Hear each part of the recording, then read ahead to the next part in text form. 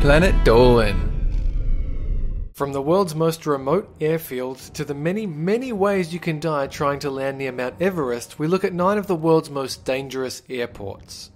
Hey there, guys, I'm Danger Dolan's mysterious brother. I'm here to blow your mind with academic research, insight, and other dark magic. Number 9. Normally, when people drive down the main street of their city, they don't have to give way to a landing plane, but in the small British territory of Gibraltar, this is considered an everyday occurrence. For some reason, they decided it was 100% safe to have a main street and the runway intersect because, Jay, what's the worst that could happen, right? It kind of works like a railway crossing where the road is closed off while a jumbo jet takes to the sky. Apparently, the system works though, and while incredibly dangerous, there has never been an accident because of it. Yet. Number 8. One of the most iconic airports is actually one that you might want to avoid.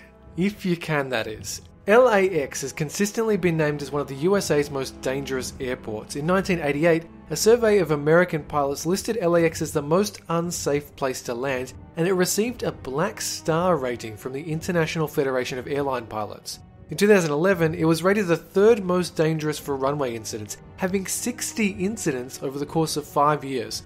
So, what causes all the problems? Traffic. Just like the rest of LA, LAX is incredibly busy, as is the sky above it.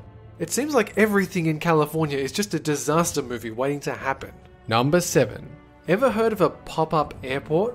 Well, this is one of them. Black Rock City Airport exists exclusively for Burning Man. Now, why a temporary airport in the middle of the desert, only being there for an event that has a motto of safety third, might be a little risky, probably doesn't need explaining.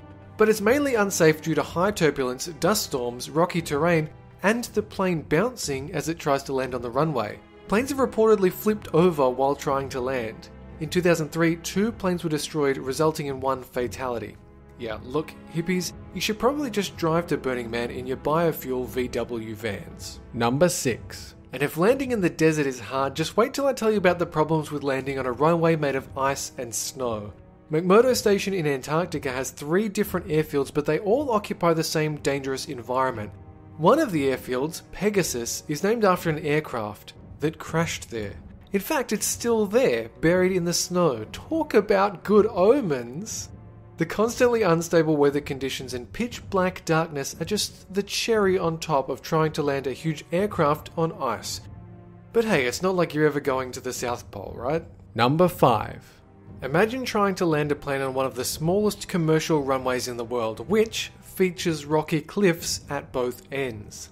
This tiny airstrip on Saba Island in the Caribbean is only 1300 feet long, so for a bit of context, a normal airport is about 6,000 feet long. This means that only light aircraft can dare attempt the risky landing. The cliffs at both ends feature a straight drop into the ocean, so overshooting the runway means you're going for a swim. There's also no air traffic controller here, but I somehow doubt there's much of a queue for an attempted landing. Number 4. After World War II, the US decided to put a Marine air station right slap bang in the middle of Okinawa, which in hindsight was probably a mistake. Not that having a base on the island is dangerous, it's just that the airfield is surrounded by houses, schools, hospitals, and a crap ton of people. The village of Ginowan that surrounded the base quickly became a city, leading to the Marine Corps calling it the most dangerous air station in the world. This is, of course, because if anything goes wrong on a takeoff or landing, there's a high chance of damage to the surrounding city. Currently, there are negotiations between Japan and the US to move the base to, you know, anywhere that won't put civilians at risk. Number 3. Remember that thing I said about normal runways being 6,000 feet long? Well, this one is 1,700 feet and it's in the top of the French Alps.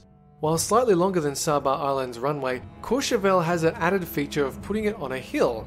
So, even if you make the perilous journey flying through the mountains, you still need to hit the landing at just the right angle, otherwise, you'll basically crash and die. But this airport almost exclusively serves rich people who want to go to the adjacent ski resort, so you'll probably never have to worry about that. Number 2. Navigating through the Himalayas in a passenger jet isn't something that sounds safe at all. And this particular airport, Paro, is so difficult to approach that only 8 pilots in the world are actually certified to even try the death defying landing. Requiring hard S maneuvers through high, unpredictable winds make this even harder to perform. one rogue breeze could get you a premature meeting with the ground.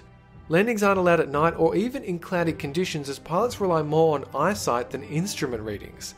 Still, despite this, Paro sees 30,000 tourists come through every year, and some say the takeoff is even worse than the landing. Number 1. And finally, we come to the almost universally agreed upon number 1 Lukla Airport in Nepal. Situated almost 3,000 meters above sea level, this vision of death incarnated as an airport features a 1600 foot runway, constantly unstable weather, and is bookended with a mountain at one end and a 2,000 foot drop on the other. Can't slow down while landing? Well, just try your best not to smash into the mountain, and due to the high altitude, you only get one shot at trying to land. It's that or crash. Of course, the opposite problem happens on takeoff, where insufficient speed will see your plane plummet down to a fiery death off a cliff. So, why do people keep going there? Well, usually to climb Mount Everest, one of the most dangerous mountains in the world. I heard on the flight they also usually have some of the most dangerous in flight entertainment and snacks in the world, just to stay consistent. So, guys, what's the scariest thing that's ever happened to you while traveling? Let us know on the Reddit page link below, and you might be featured in a future countdown. Well, that's it for this countdown, but catch you guys next time. The area also has a massive erosion problem because tourists like to wander off where they're not supposed to. To remedy this, the Peruvian government has limited the number of visitors to just 2,500 a day. Come on, guys, I know they're called ruins, but that doesn't mean you have to ruin them. This is why we can't have nice things.